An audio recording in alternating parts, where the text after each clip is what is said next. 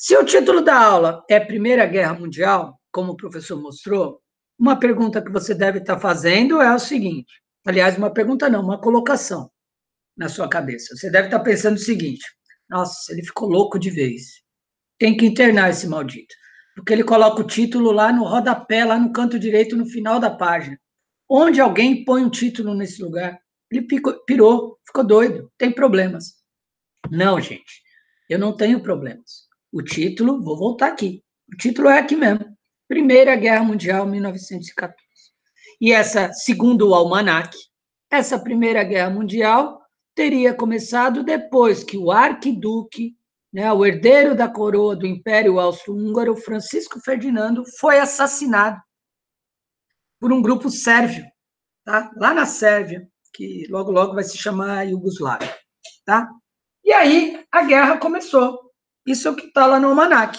Então, se você olhar no Almanac, você vai ver. Quando começou a Primeira Guerra Mundial? Depois que o arquiduque Francisco Ferdinando foi assassinado por um grupo sérvio. Ok.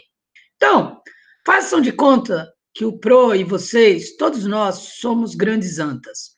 Se somos grandes antas, quando a gente olha no almanac e vê isso, se não me engano, foi junho de 1914. Qual a conclusão que a gente chega, então? Se a guerra começou em junho de 1914, depois que foi assassinado, significa que em maio de 1914, todo mundo está feliz, todo mundo é amigo, todo mundo é colega, certo? Não. É óbvio que não. A gente não está estudando almanac. A gente não está vendo verbetes no dicionário ou vendo datinhas. É fato que a Primeira Guerra Mundial começou em junho de 1914 e sim, senhor, é fato que o assassinato, o assassinato do periquito aqui do Francisco Ferdinando é o estopim. Mas criança, a Primeira Guerra Mundial ela foi gestada por 40 anos nessa Europa Ocidental, até de fato os países declararem guerra um contra o outro. Então, a aula de hoje é uma aula que você já aprendeu a ter com Pro, que é aquela aula de contexto histórico.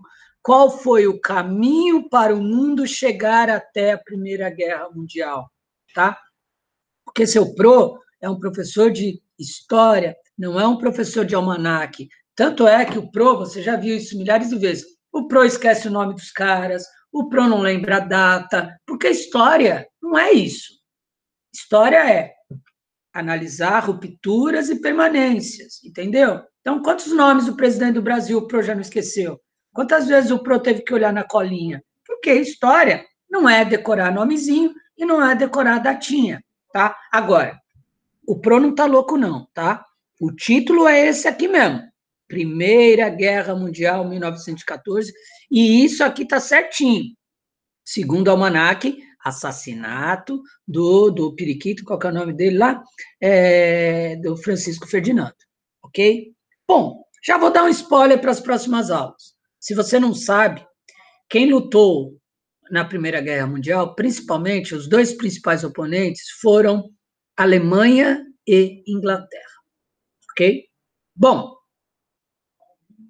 você lembra que no ano passado a gente acabou o livro do oitavo ano e a gente já começou o livro do nono ano, e você lembra que antes de começar o Brasil, o Brasil falou, ou o Brasil, o PRO falou da história geral. E aí o PRO trouxe de novo capitalismo, comunismo, falou do liberalismo, e o PRO te ensinou, olha aqui, ó, ó a setinha, Peraí que a bala tá acabando. Ai, meu Deus, ela ficou na garganta. Ai, meu Deus. Voltou, voltou. Tá bem, tá bem. Agora tô vivo.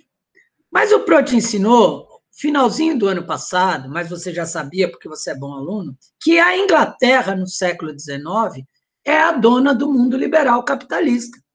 Há vários países poderosos na Europa na época, mas a Inglaterra é o mais poderoso de todos. A Inglaterra é quem dá as cartas do mundo econômico. A Inglaterra é a poderosa, a Inglaterra é a dona do mundo, tá? E como você aprendeu com o capitalismo, com o mundo liberal, no mundo liberal só se aceita uma força no topo, só tem uma no topo.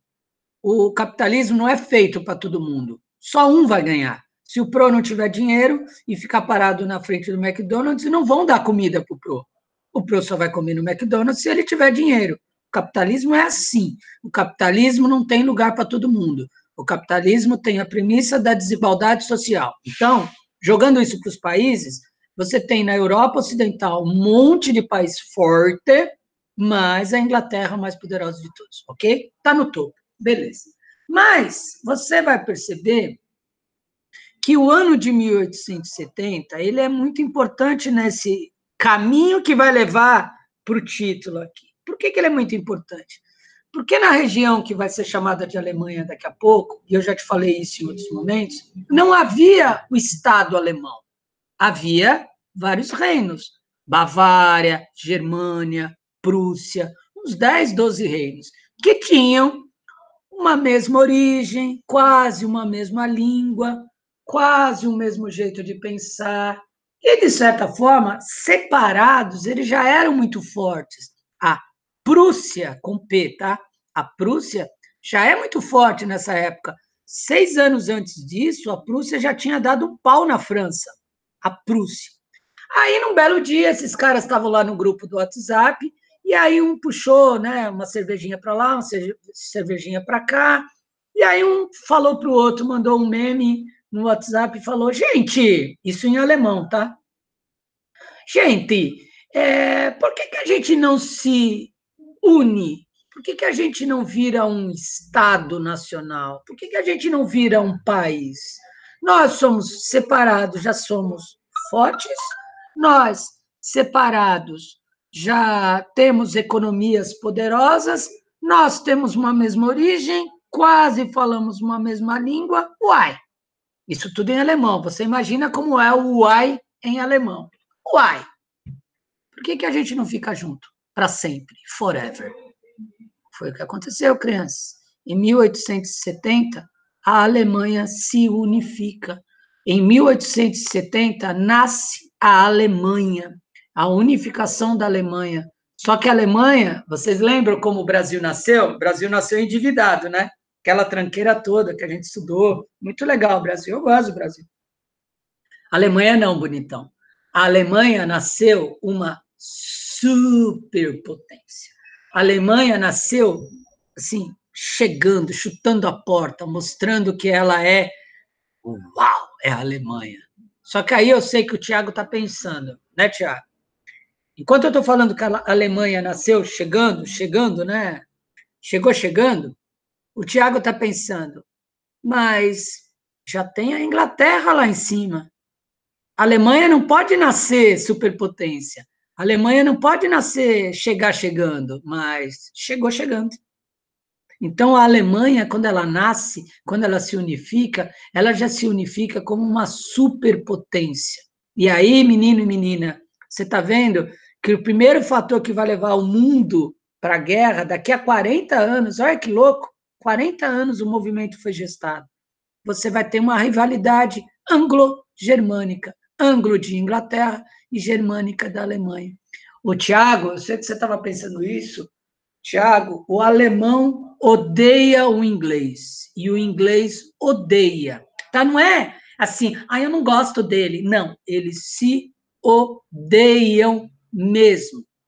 E como você tem na, metade, na, na mentalidade liberal de que para eu lucrar eu tenho que estar sozinho no topo, para eu me dar bem, o que, que tem que acontecer com o rival?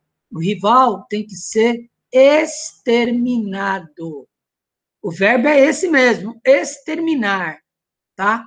Aí você já está ficando chocado, você está falando, nossa, professor, mas os europeus, você ensinou ano passado, os europeus eram, falaram que eles eram civilização, por que tanto ódio no coração? Pois é, até rimou, hein? O professor, além de tudo, é um poeta. Então, crianças, a, a Primeira Guerra Mundial foi entre quem? Inglaterra e Alemanha. Que coincidência, né? Que coisa, ai, gente, eu fico com essas coincidências na história assustador. O inglês, para ser feliz, tem que exterminar o alemão. O alemão, para ser feliz, tem que eliminar, exterminar o inglês. Só que não foi só a Inglaterra que ficou pé da vida com a Alemanha. A França, que já tinha engolido uma derrota para a Prússia, já não gosta dos alemães. E os russos também. Então, você tem Inglaterra, França e Rússia, que, na teoria, são os maiores países do mundo, da, da Europa naquela época, estão encarando agora uma superpotência. E aí é evidente, cara, que essas superpotências, que não falam literalmente a mesma língua e poeticamente não vou falar a mesma língua, em cada uma dessas superpotências você tem um nacionalismo, mas não é um nacionalismo normal, assim, ah, eu vou torcer pela minha seleção na Copa do Mundo. Não, é uma coisa assim, tipo Bolsonaro, ops, é, é assim uma coisa tipo, é, é, só importa a minha nação, só a minha nação tá certo, é um exagero, é exacerbado, sabe? É um nacionalismo que passa da medida é uma coisa assim, se você é brasileiro, você odeia o argentino. Não vou odiar o argentino, eu acho a camisa da Argentina de futebol linda, por que eu vou odiar o argentino? Mas é nisso, na Europa, esse nacionalismo exacerbado. A coisa, criança, ela é tão exagerada que ela passa a virar, ó, você está vendo que o Pro está colocando os númerozinhos aqui para você não se perder, tá vendo? Ó, são seis númerozinhos mas não é para seguir, não precisa seguir. Na verdade, todos os fatores que levaram o mundo para a guerra estão relacionados, tá? Então, nesse nacionalismo exagerado, o inglês, para ganhar mais e ser mais feliz, tem que exterminar o alemão e vice-versa. Isso extrapola a ideia do nacionalismo, né? Daquela defesa que você faz da nação, do Estado. Isso já vira xenofobia e eu tenho quase certeza que vocês já aprenderam em filosofia ou geografia o que é xenofobia. Xenofobia é o ódio ao estrangeiro. E o Pro está tentando abrir o pacote de bala aqui e não consegue, e era para ser discreto. Ah, agora. Ih, continua não sendo discreto. Ah, agora foi, hein? Então, no nacionalismo, você tem esse desenvolvimento, esse crescimento para um ódio ao estrangeiro. Tá? Para vocês terem ideia do problema, teve um jornal inglês em 1895 chamado Saturday Review. Saturday Review. E olha que coisa maluca, é um jornal que sai só de sábado, saía só de sábado na Inglaterra, por isso Saturday, entendeu? Saturday é sábado. É, nesse editorial que estava na capa do jornal, olha o que o editorial disse. Eu vou falar em português mesmo, tá? Não vou falar em inglês. No editorial estava dizendo o seguinte: nós ingleses, isso estava no editorial, nós ingleses, só seremos mais felizes. E ganharemos mais dinheiro, lucraremos mais no final do processo, só teremos isso, uma Inglaterra mais forte e grande, a partir do momento que todo alemão for exterminado da face da terra. Cara, se isso não é xenofobia, eu não sei o que isso é sentiu o drama da coisa, você está vendo como está se gestando um, um, um, momento que vai mudar a história, e esse momento é a Primeira Guerra Mundial, tá? É um momento que vai mudar tudo, né? É, isso eu vou falar na próxima aula, mas é um momento que vai mudar tudo. Então, ingleses e alemães, alemães, alemães e franceses, alemães e russos se odeiam. Ok, a vida segue. Em 1870, por coincidência, a mesma data aqui, você tem o capitalismo, que é o sistema econômico que é, gerencia esse mundo. O capitalismo, o que, que acontece? O capitalismo ele entra em crise. O ca capitalismo tá, tá ferrado, ninguém consome, não tem produto, não tem matéria-prima. Ah, meu Deus, o capitalismo vai morrer. Ah, morreu. Eu já te ensinei que o capitalismo tem um mantra, né? Qual é o mantra do capitalismo?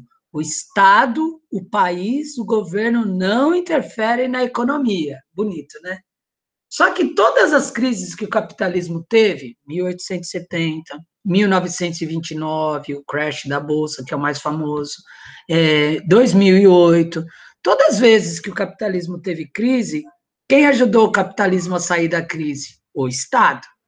Tá? Então, o capitalismo, para mim, é aquele é, rapaz playboy, metidinho, sabe? Folgadinho, riquinho, que decide: olha, eu vou morar sozinho em casa agora, agora eu sou independente, entendeu?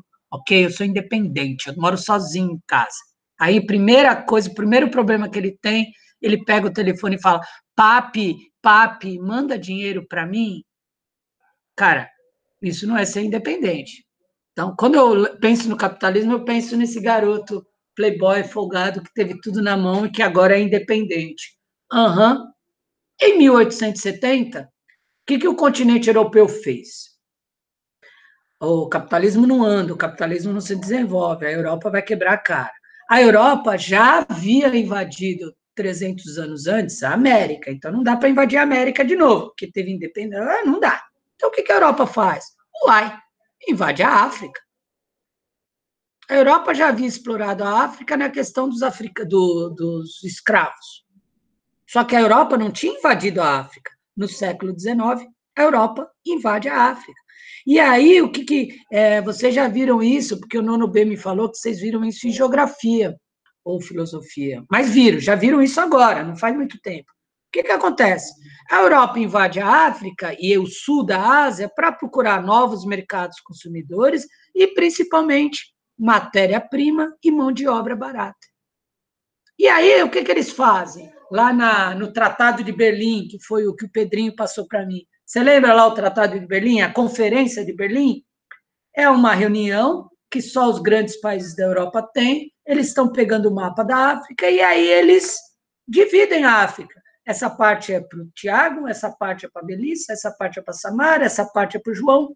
Lógico que ninguém perguntou para a África se queria essa divisão. Isso entrou para a história como partilha da África, tá?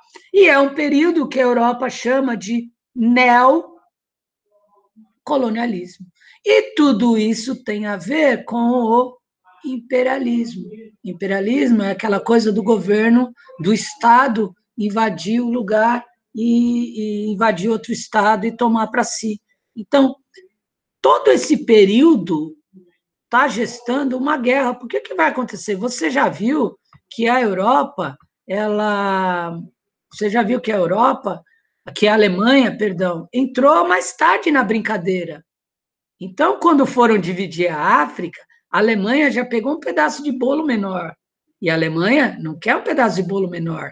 Então, o que, que acontece? Você só tem as rivalidades crescendo. O bicho está pegando, gente. Vocês estão sentindo a fervura da Europa?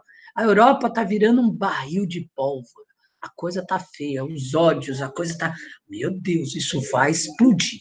Agora, ano passado, o Pro te ensinou, e ele vai repetir isso agora, que o ano passado, e esse ano ele te ensinou de novo, quando ele te ensinou positivismo. Lembra lá, no estudo do Brasil, que a gente fez um parênteses e estudou o positivismo de novo? O que é o positivismo? É a ciência dando as cartas no século XIX. Você pode chamar isso também de cientificismo. O século XIX é um século que a tecnologia, cara, ela dá um boom. No século XIX, sente só, Zé, você vai ter carro, você vai ter a energia elétrica, né? Você aperta o interruptor, acende a luz, olha que sensacional. Você vai ter a penicilina na, na saúde, que mais que eu estou esquecendo? Você vai ter o avião, né? Você vai ter a, a, a locomotiva, a, você vai ter todo um desenvolvimento tecnológico assustador. E é óbvio que a indústria bélica, a indústria de guerra, também vai se desenvolver.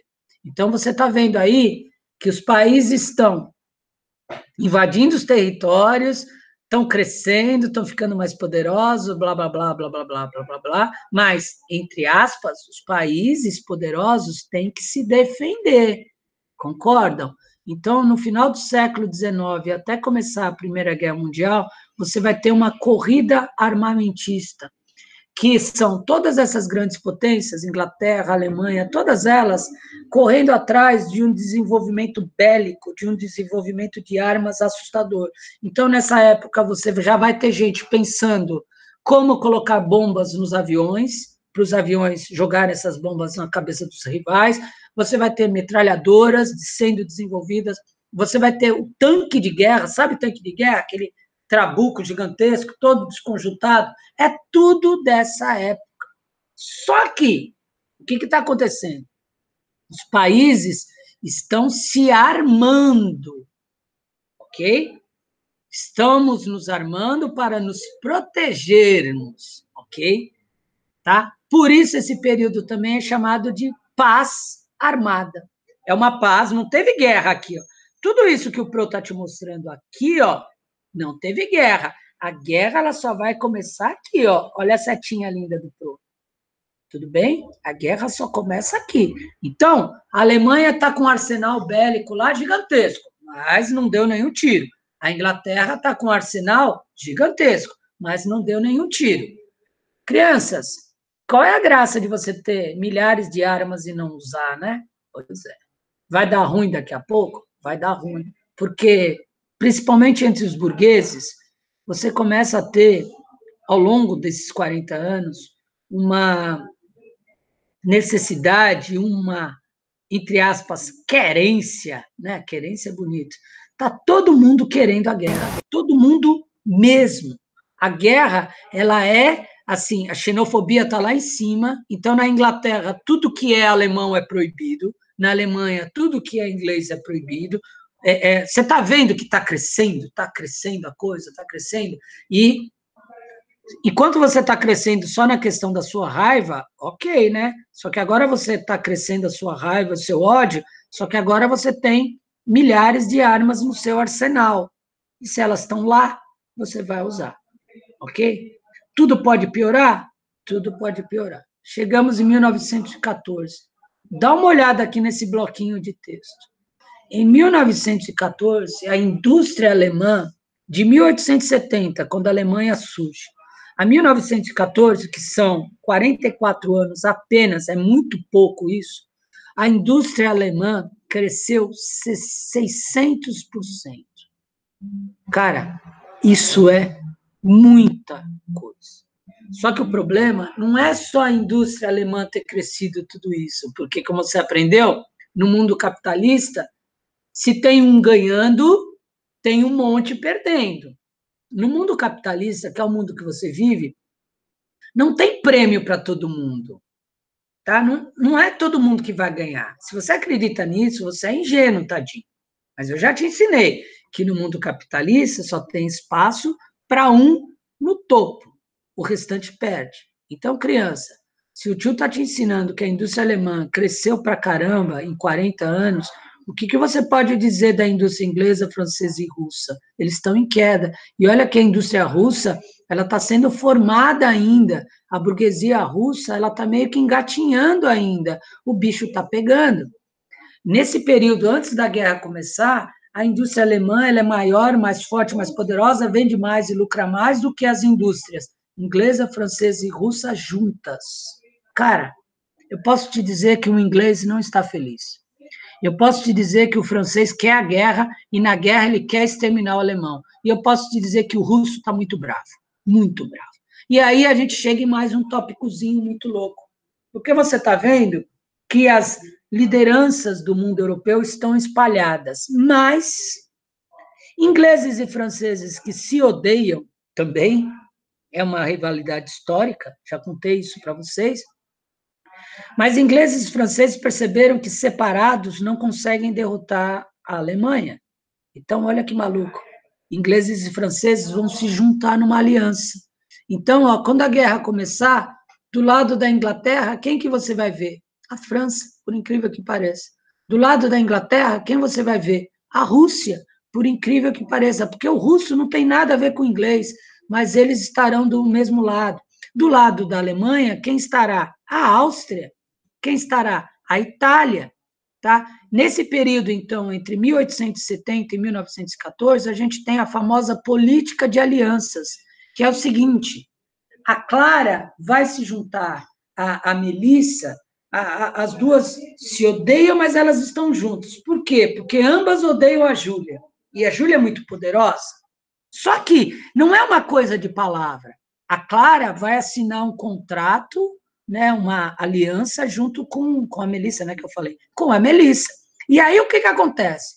Se a Júlia atacar a Melissa, está no contrato. O que, que a Clara tem que fazer? A Clara tem que atacar, atacar a Júlia. Só que a Júlia não ficou parada. A Júlia se juntou à Bia. Só que agora a Júlia e a, Bia não, a, e a Bia não se gostam mais. Elas rompem esse tratado e a Bia se alia a Samara. Você está vendo esse jogo? Não é um jogo para sempre, não é um jogo forever, tá?